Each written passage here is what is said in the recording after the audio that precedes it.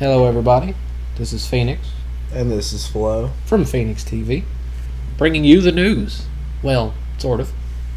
And This- it isn't Ron Burgundy. No, this is actually where the Ender Anchor presents the Nerd News on Phoenix TV 2. I like that. That's pretty cute. The That- Ender Anchor. what he does is he stands in this dark area, showing you the whole thing. What's he do? Disappear? Something like that. The world's over.